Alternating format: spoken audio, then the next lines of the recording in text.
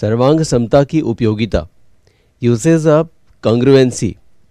सर्वांग सम आकृतियों व सर्वांग समता का उपयोग हमारे वास्तविक जीवन में तो होता ही है।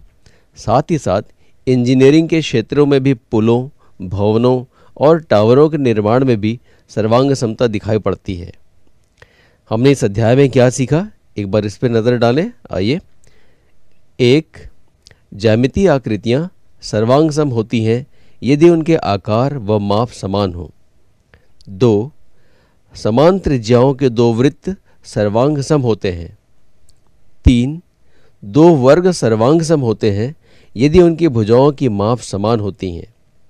चार, दो त्रिभुज सर्वांग सम होते हैं जब उनके शीर्षों की संगतता इस प्रकार हो कि उनकी संगत भुजाएँ व संगत कोण समान हो।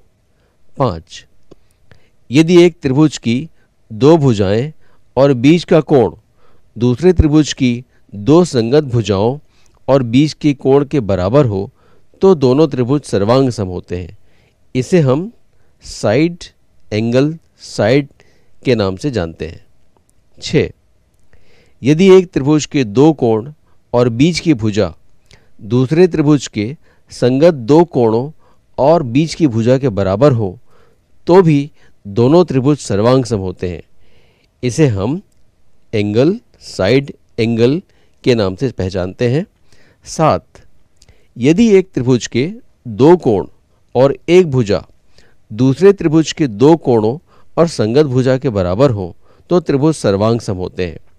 इन्हें हम एंगल एंगल साइड के नाम से पहचानते हैं। आठ, त्रिभुज की बराबर भुजाओं के सम्मुख कोण बराबर होते हैं। नौ त्रिभुज के बराबर कोणों की सम्मुख भुजाएँ बराबर होती हैं। दस। दो त्रिभुजों में यदि एक त्रिभुज की तीन भुजाएँ दूसरे त्रिभुज की संगत भुजाओं के बराबर हो तो भी वे त्रिभुज सर्वांग सम होते हैं। ग्यारह। यदि दो समकोण त्रिभुजों में एक त्रिभुज का कर्ण व एक भुजा दूसरे त्रिभुज के कर्ण और एक भुजा के बराबर हो तो त्रिभुज सर्वांग सम होते हैं। इसे हम राइट एंगल हैपोटेनियस और साइड के नाम से पुकारते हैं। बारह। किसी त्रिभुज में बड़ी भुजा का सम्मुख कोण बड़ा होता है। तेरह। किसी त्रिभुज में बड़े कोण की सम्मुख भुजा बड़ी होती है। चौदह। किसी त्रिभुज में दो भुजाओं का योग तीसरी भुजा से बड़ा होता है। पंद्रह।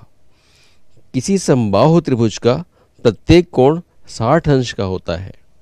सोलह, यदि त्रिभुज ए बी सी और त्रिभुज पी क्यू आर सर्वांग सम है तो इसे इस प्रकार लिखते हैं।